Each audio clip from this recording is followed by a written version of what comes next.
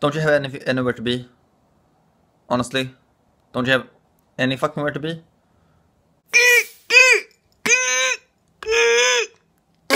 What are you talking about? My ideas are permeating right through my ears. I am the master of ideas. I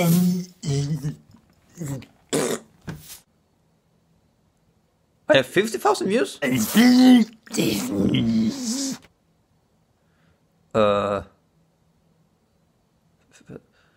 Oh yeah, yeah. This is a this is a special for 50,000 views.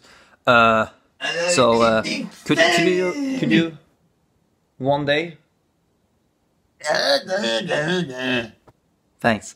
Uh, no, but seriously, I don't really know how the fuck I got so many views. But you know, four years of content, you know, it helps.